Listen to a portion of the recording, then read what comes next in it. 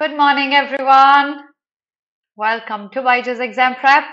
My name is Alpa Sharma, and this is our editorial analysis. Very good morning, Priya, Aditi, Asmita, Falguni, Akansha. Can you hear and see me clearly, everybody? Good morning. Am I clearly audible and visible to everyone?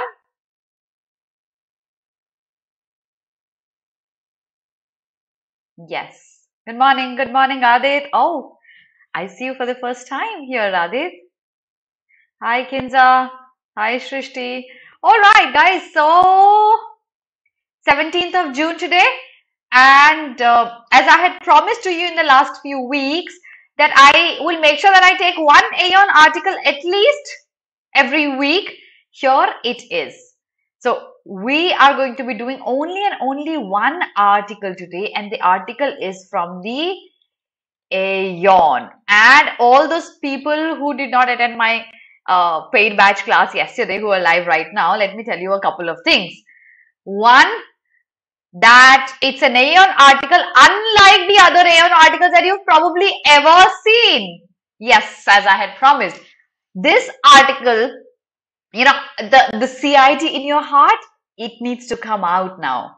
Okay, so the article talks about law, one of our favorite topics, one of our favorite sources, and this is one of those articles which rarely happens that doesn't need editing because in itself this article isn't really long. So it's icing on the cake. It's not a very long article. It's from the Aeon and it's on law. I just could not miss out on this article for my editorial classes. No, no, no, Priya, no. Not the one on Smite. So it's an older article. It did not appear very recently. It's an older article. So very, very likely you missed out on the article and we're going to be discussing that in detail. But I can assure you, you're going to love reading that article. Okay, good morning everyone. Yes, just a minute. And uh, we'll be doing what, our, uh, what all will we do in the class? We'll take out the vocabulary. We're going to memorize the words. We'll discuss the tone of the author summary. is easy. You'll not have a problem understanding the summary, I'm sure. And in the end, we'll look at important articles from various sources of various newspapers. So that's the agenda of the class. So shall we start with the vocabulary, everyone? Shall I show you the vocabulary? Here we go. So here's the first slide for vocabulary from the article that I've brought from the Aeon the first slide. The first word is exonerated. So in exoneration, it's basically acquitting somebody. So acquittal is when you make somebody free of all the charges and blames, right? But then the difference between an acquittal and exoneration is acquittal usually uh, pertains to an official legal case. But exoneration is, it doesn't necessarily have to be an official legal case. It can be any kind of blame on you and then after a little bit of research you it's found out that you're not guilty and you are being exonerated. So exoneration is making somebody blame free uh, or putting away all the faults that were there on his shoulders making that person free of that is exoneration. And inquiry exonerated those involved. So this inquiry made these people free of blames and faults no, Kushi, it is not. You can take a print, color, uh, black and white printout as well. Okay. Hi, Anil. I'm absolutely good. No, Kaveri, no. Neither that. Okay, I'll tell you something. See, this article will keep you on your toes till the end. It's, I told you, the CID in your heart has to come out. We are Indian babies, right? We're born in India and we've seen CID so much, it has to come out of your heart here. That's what the article is going to talk about. Okay. The next word is adjudge. So adjudge is when you uh, blame somebody, when you criticize somebody, when you ask somebody to uh, make some payment because you are a defaulter, because you're a wrongdoer, that's adjudge. So adjudication is a related word here. The defaulter was adjudged to pay the whole amount. He was criticized and asked to pay this amount. So when there's a wrongdoing that you do and you're asked to repay for that, that's uh, adjudge here. Word number two. The third word, nifty. Nifty, not the nifty that relates to the stock market. That's a different one. This Nifty is being very skilled, very deft. I'll write the word here, deft. Okay, very skilled, very deft, very uh, clever and uh, effective is Nifty. So that's the third word. Okay. The last word for this slide is innocuous. Innocuous is innocent, not harmful, not offensive, plain, not derogatory, not targeting anyone is innocuous. So I can call it harmless. It was an innocuous question. It was a harmless question. It wasn't intended to harm anyone or upset anyone. That's innocuous. Slide number one. I hope you get all the words. Take a very quick screenshot. It is. Okay. It's real. Aditi, it's related to determine, but then uh, it's more of asking you to repay or make a payment or make a give a penalty. That's what adjudge is. Okay. Not judge, but more close to paying a penalty. I hope you've taken a screenshot of this slide, everyone. Let's move to the next slide. And that's the last slide, slide number two, unscathed. So when there's an accident, probably, that's an example. There's an accident and the passengers come out unharmed. That unharmed situation is unscathed. So I'll write this down here, unharmed. Unscathed is no injury happened, no suffering happened, you came out victorious. I came through all those perils unscathed, you weren't harmed here, is unscathed. That's the second last word of the slide. And the last word we see here is an ordeal. So my entire article that I've brought today, just a minute, talks about trial by ordeal. Let's understand. Let me just uh, find a comfortable place to sit in. Okay. So trial by ordeal. I'm going to talk to you about this term a little before I show you the actual article. And your ability to understand this phrase is very, very important so that you're able to understand the article as well for people who don't attend this session, attending Hindu class regularly is totally, you know, that's uh, uh, the other way around. Attending Hindu classes daily is innocuous yet very, very helpful. Okay. So now understand what is trial by ordeal. If we talk about years and years and years back when technology wasn't so advanced, the entire judiciary would be dependent on God. How can judiciary dependent on God? We've read about the Greek mythology, the Roman culture, and we've seen the presence of judiciary there as well. Hundreds and hundreds of years back. But there was a presence of God. How was it visible? How was it present? Let's understand that. So there was an ideology that said trial by ordeal. There are different kinds of trials that happen, right? So the trial could be by a bench, the trial could be by a single judge, various kinds of trials. Our country, what's the most prominent uh, process of trials? Who's going to answer this?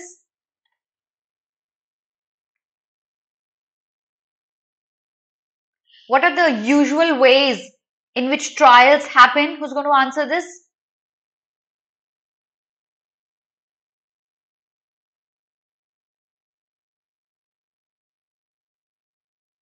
Anyone?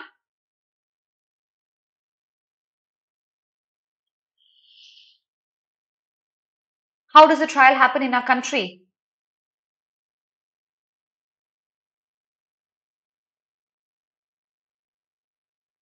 Jury? Yeah, exactly.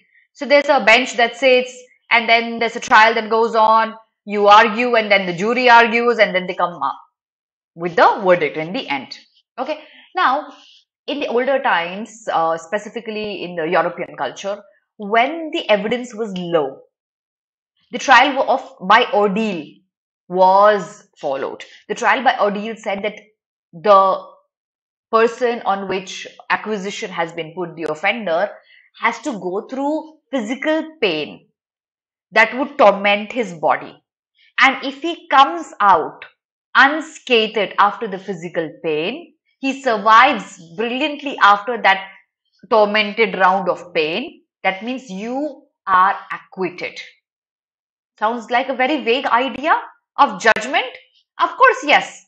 Now, this entire theory dependent on God helping you. That God knows what you've done. So if God puts, so if you are put through pain, for example, uh, you've been asked to, like, like it's like an Agni Pariksha. Okay, so you've been asked to walk on uh, hot burning coal and you just cross it without being burnt. God has saved you because you are innocent. But if you burn down, then it's more like you are the culprit. So that's the idea of trial by ordeal. Okay. Judge and jury, exactly. So it could be judge and jury both. So Adit, uh, I'll tell you something very interesting here since we're talking about judge and jury before I show you the article. Uh, I recently read an article, a very interesting one, that told us about Australia giving us a liberty. So if you're an Australian resident, it gives you a liberty to choose between the judge and the bench for trial. You could, you as an accused can choose who is going to give your verdict, how the trial is going to happen. Is it going to be by a judge or is it going to be by a bench? You have a choice. What would you choose had you been an Australian resident? What would you choose? A bench or a judge? Considering you're guilty,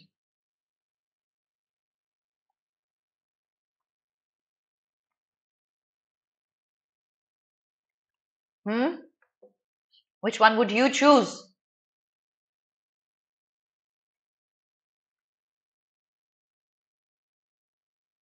Okay. There are no answers. Judge. Of course, I would go for the same. If I'm guilty, why would I choose an entire bench who probably is going to find out I'm guilty? I'll choose a judge. It's easier to manipulate one person than to manipulate an entire team. So, we're going to be talking about the trial by ordeal in detail and it's a very interesting piece of article. But before I show you that, if you're targeting CLAT 2023, a comprehensive combo course has been launched. Quickly enroll yourself for this program. Don't wait because you don't have a lot of time left. CLAT 23 is right around the corner. Not 22 but 23, okay? Now, read the page and send me a done once you're done reading the page, okay?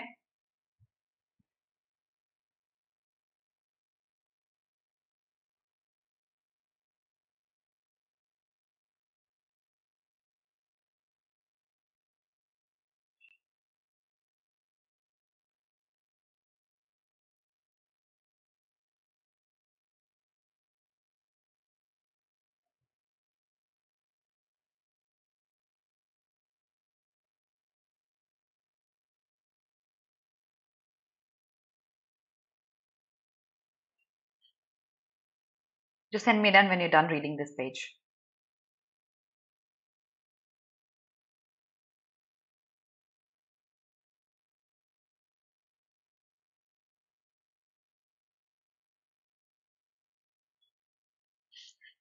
So it says if there are charges on somebody and the evidence is low, there are only two ways of knowing who the guilty is because the evidence is low, either the defendant himself openly admits to being guilty or else the God above knows. There are only two people who know it, right?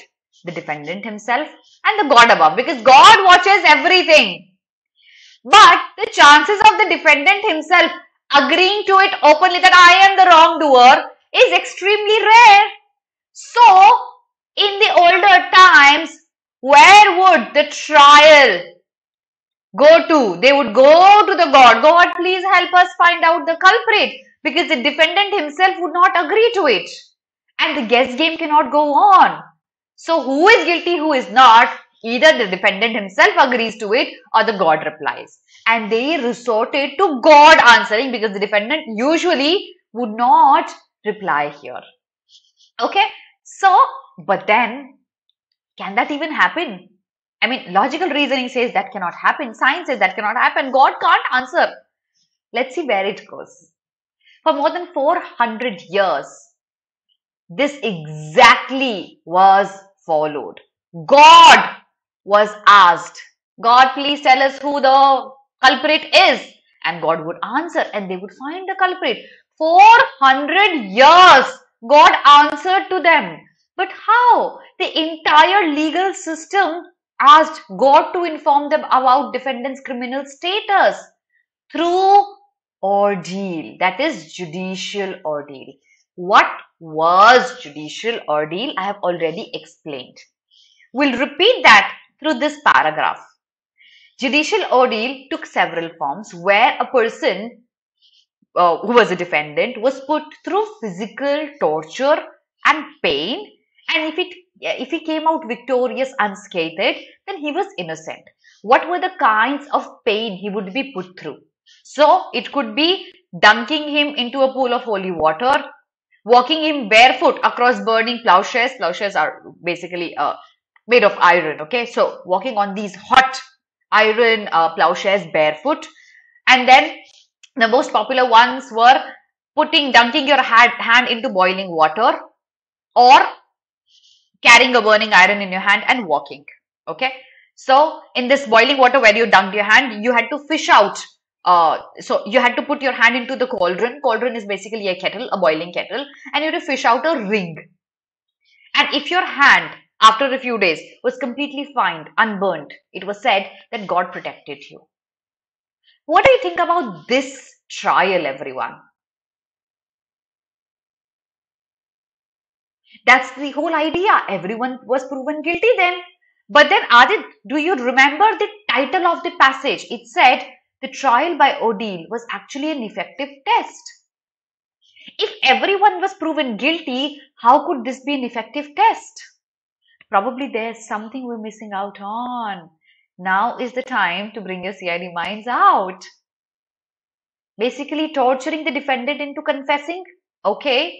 But then Ashi that's a good guess. You think it's nonsense, but the author thinks it's an effective test of guilt.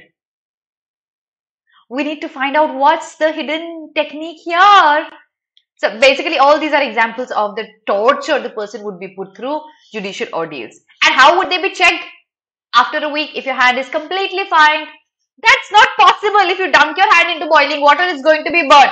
Science says it's going to be burnt. And then science and technology wasn't so advanced at that time where you could put some ointment on your hand and your hand would not be burnt and XYZ things. No, it wasn't so advanced at that time.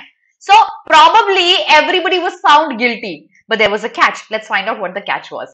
Judicial ordeals were administered and adjudged by priests. Of course, since you are praying to God to tell you who the culprit is, there has to be an appearance of this uh, protagonist and that's the priest. So this would happen in the in the church during special masses.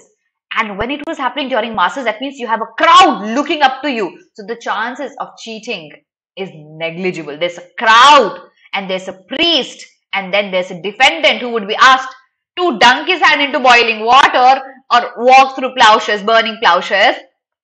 But if you come out unscathed, you are victorious, you are acquitted.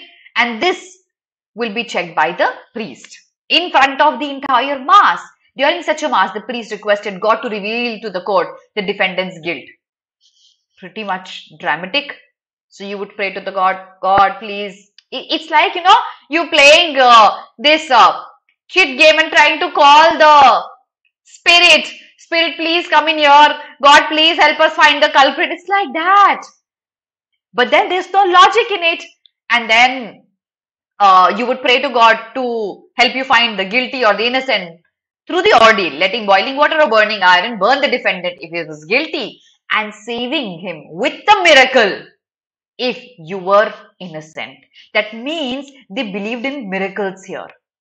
The idea that God would respond to a priest's request in this way reflected a popular medieval belief according to which the ordeals were this phrase. Basically, this phrase is a Latin term for um, the judgment by God. So now, since God knew everything, who is the guilty and who is the um, basically acquitted one, God knows everything. And what better than asking God Himself who the culprit is? So that's what they believed in.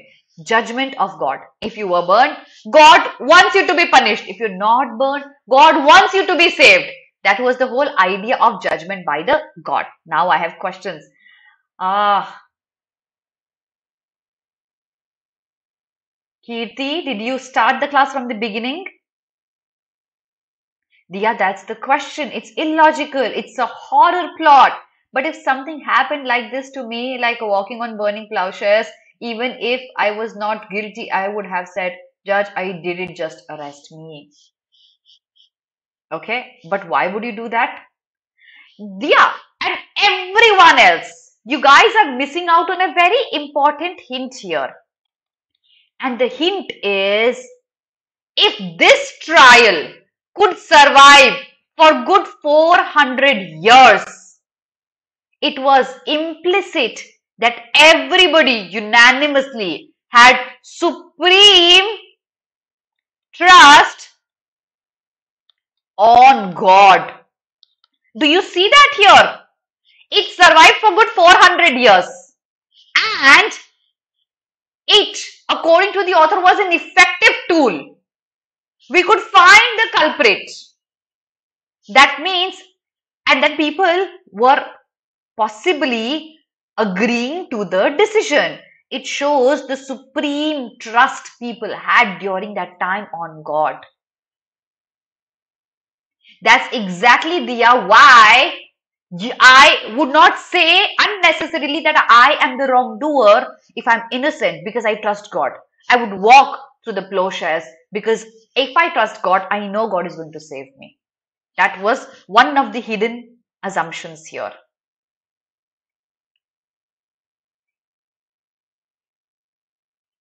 Okay. Now let's go on. Let's see. We're still missing out on something. We're still unable to decide why is this whole methodology uh, a perfect way of finding the accused. Okay. Let's see. Let's move on. So till now we've understood that it was the idea of judgment of God, that God knows everything and God is going to decide who to burn and who to save. Getting God to judge the guilt or innocence of crime defendants is a pretty nifty trick.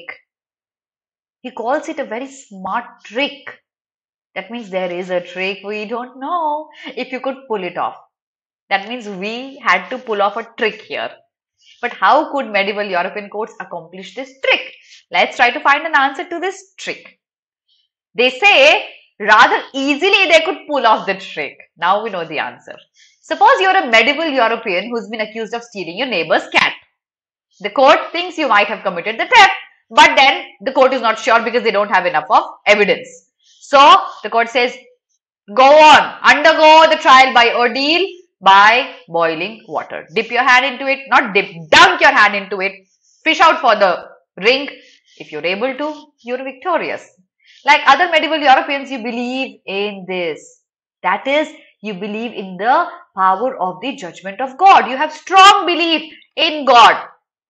If you have strong belief in God, you would happily follow the trial by ordeal. Everybody did that for good 400 years. A priest would come in, he would pray, he would do appropriate rituals, he would call on to God for revealing the truth, and he would also ask God to perform a miracle if the person is innocent and save you from burning if you're innocent and if you are the culprit to burn you down to rags. He would pray to God for that. Okay. So that was the entire process and court ordered this. If you undergo the, now here is the answer. Now probably you'll find the answer here. If you undergo the ordeal, God says you're guilty, your hand is burnt, you have to pay a large fine. If he says you're innocent, then you are cleared of the charge and you pay nothing. Alternatively, you can avoid the trial of ordeal by admitting to your crime even before the ordeal started and paying a smaller fine than this actual one that was supposed to be paid after you were found guilty by the trial of ordeal. If you are guilty, what will you do? What will you do, my children, if you are guilty? These are mind games. Exactly. So if you're guilty, what would you do? You would think, oh my God, I'm guilty. I, if I have to go through the trial of ordeal, I'll burn my hand. and then God knows because I'm guilty, so I'll burn my hand and then pay a huge amount. Why not pay a small amount in the beginning and confess for the crime that I've committed? I'll save my hand and a lot of amount of money.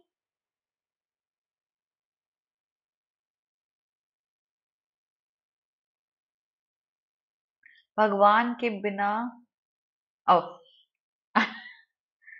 okay just confess and pay the small amount.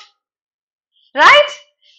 So that's exactly what the mind game here was. Suppose you're guilty and you know you stole your neighbor's cat and so does god. God obviously knows it right?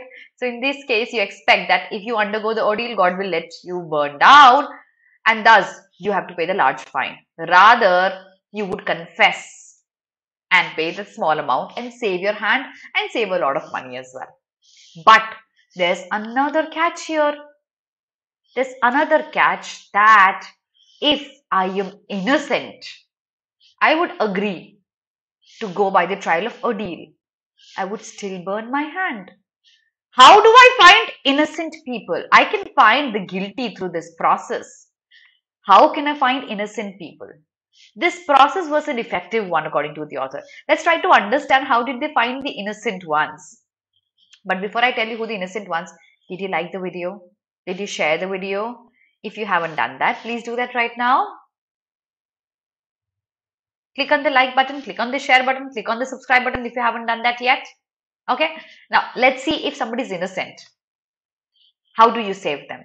You know you did not steal your neighbor's cat. And again, God also knows that. So you trust God. And in this case, you expect that if you undergo the ordeal, God is going to save you. Thus, you don't have to pay the fine and you'll keep your hand intact. But how will God save you? Logic does not say that. This is better than if you confess to stealing the cat, in which case you have to pay the fine or the theft you did commit. So if you're innocent, you'll undergo the ordeal, obviously. But how will God save you? Let's try to find the answer to it. Did you catch the trick? Did you catch the trick, everyone? I'll show you what the trick is. Who would uh, monitor the entire process? The priest would, right? So, the priest, because if of your belief in this process, judgment by God, the specter of the OD leads you to choose one way if you're guilty confess and the other if you're innocent undergo the ordeal. So they were simple. If somebody was guilty he would confess. If somebody was not he would go through the ordeal. That means the priest now knows a person choosing to go through the process of ordeal is an innocent one. Now i think it's clear in front of you what the catch was. By asking god to out you the legal system incentivizes you to out yourself. Pretty nifty indeed how do you out yourself? You basically go through the ordeal because you trust God here. There's just one hitch. While only an innocent defendant will choose to undergo the ordeal, which allows the court to learn that he is innocent, how do you save his hand? You save his hand by administering priest make boiling water in so basically you the involvement of the priest here for administering the entire process of the ordeal since the priest was the one administering it, he could play with the temperature of water. He could play with the verdict. That was the hidden catch here. He will, Akansha, exactly. That's the point. If he is innocent, he certainly will do the task. But since the court now already knows he is innocent because he decided to choose the task, it's the court and the priest's responsibility now to save him, not the gods. It's the court's and the priest's responsibility to save him. Let's see how the priest saved him. There was an instruction manual for the priests that was followed before this entire process began. Let's see what the priests did. The fire used to heat the water was prepared in private so the priest can alter the temperature. He had ample of time to cool the fire. The priest sprinkled holy water over the water, boiling water in the ordeal cauldron. The cauldron is the kettle, okay? So by sprinkling holy water, you can cool the water down. You can decide how much water to sprinkle or just pour a lot of water on it. You can make the water cool down and then The ordeal cauldron was removed from the fire at a point during the mass and the defendant wasn't tested until the priest was done praying. So the priest could just pray on and on and on till the time the water is to a bearable temperature. And ordeal observers were placed at a respectable distance. So they can't even peep into the cauldron to see how boiling the water is. They were far away. The priest knew you were innocent because you chose the trial by ordeal. The priest could cool the water down through various steps the instruction manuals suggested, enabling the priest to carry out his manipulations undetected. Did I mention that it was the priest who adjudged the ordeal's final outcome? After one week. So even if your hand was burnt, he would say, no, no, it's not burnt a lot. It's only minor burns. Possibly you're innocent. So the priest would come up with the verdict in the end. He could play his own fair share of games and he could save you. Now there's a question. The priest could be bribed. If this trick was known by the people, everybody would choose to go by the trial of ordeal. Right? Now the idea is that if this is the case, you guys are missing out on the same assumption I had mentioned in the beginning. Supreme trust on God. You forgot that. It was the fact that you believed in the existence of God and the designation the priest held in the society that you would not, nobody would dare do anything against the wishes of God because you were fearful of God. And it was the fear of the priest and the God and the Almighty. And that's why this process lasted for good 400 years. So the idea of bribing or everybody knowing it was negligible. Okay. And there was not one priest who would do it because there was trust in God that God would save you. But the story goes on. Let's see that. The miraculous result was thus practically assured. There's some data in 13th century, 208 defendants were asked to undergo the hot iron ordeal. Nearly two-thirds came out unscathed by red hot irons they carried. There could be two reasons. Either the priest playing games or the god probably himself trying to protect you because you were innocent. So Either God really did intervene to reveal the defendant's innocent or the priest made sure that the iron they carried wasn't hot. There were only two ways, but two thirds of people came out victorious and one third were burnt. Now, why were they burnt? We don't know. Possibly God wanted them to be burnt. In practice, this might not have mattered whether the ordeal were truly God's judgment or the judgment of a clever legal system. We don't know. But for either case, what we know is the result was the same and that was improve criminal justice. Not perfect maybe, but improved. Thanks to God. So that was the article. It's uh, via this method they increase the people's trust in God. That's true as well. I would not comment on the meaningless word, but yes, the trust on God increased. That God is watching everything and God is going to help us. Okay. And you see the last line, thanks to God. It's a pun here. It's more like a sarcasm because possibly God did not do anything. Possibly God did. We don't care. We have a cleverer uh, legal system. Just that. Now, that was the only article we would be doing today. You have a homework. The summary is too easy. You don't have to write down the summary. The tone is a little tricky one. That's what your homework is. In the comment section, not in the chat box right now, in the comment section under my video, you have to write down the tone of the author. If you've loved the article, you can comment that as well. If you've loved the class, you could do that as well. And do not forget, Sunday 19th June 6 p.m. we have our detailed exam analysis for CLAT 2022 by Srinivas sir and Nivedita ma'am. Don't forget to watch it live. That is all for the class, everyone. And I'm going to be sharing today's Hindu and Indian Express in the background and we'll see what is important today that we need to read and what is that we need we can skip okay? So everyone the class is done. I'm just sharing today's hindu and indian express in the background and we'll see what is that we need to read. I don't know kinza and they are not here not in the chat box in the comment section under my video okay sharing today's hindu and indian express everyone here we go Just a minute, guys. Yeah, found it.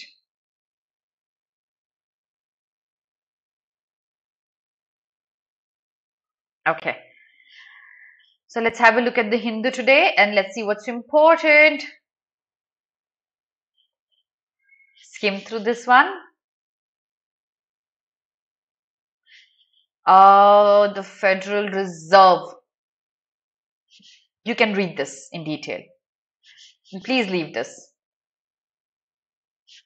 Skim through this one. Ah, it actually is becoming an endemic. Just skim through this one, bit. I think you should read this in detail. It's a very good one.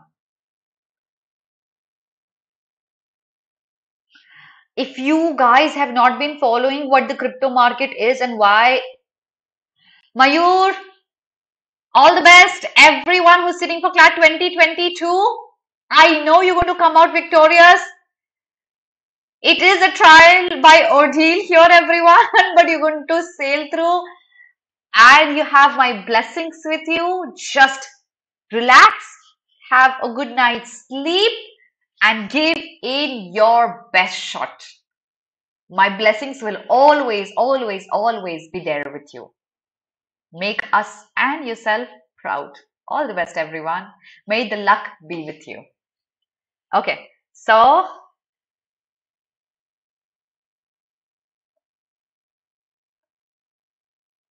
here we go with the newspaper ahead. If you don't know what's happening with the crypto market, please read this article in detail. It will explain everything to you. And then here we have this guy. Okay. The audacity of regional films. Don't read this. Okay. Let's have a look at the Aeon if any new article has come up. Ah, yes. Yes. Read this. Okay. This is the new article. Please read this one. So that's all I think for today. Thank you so much, everyone. Have a very good day, guys. God bless you. Bye, everyone. I shall see you after CLAT happens.